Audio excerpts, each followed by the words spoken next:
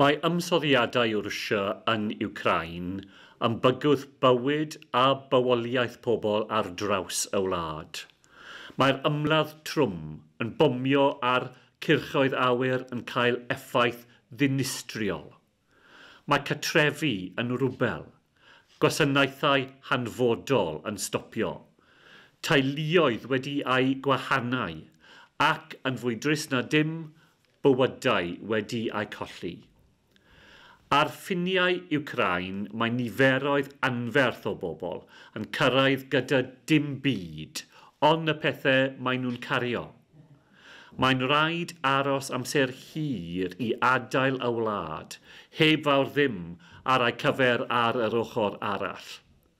Yn y nos, mae'r tywydd yn oer iawn. Dyma beth yw gwir ar gyfwng. Mae Dec Cymru yn apelio am ein help ni yng Nghymru. Bydd ein cymorth ni yn cryfhau ymateb a mydiadau sy'n gweithio yn Ukraine ac yn rhoi bwyd, dŵr, cymorth meddygol a lloches i deuluoedd.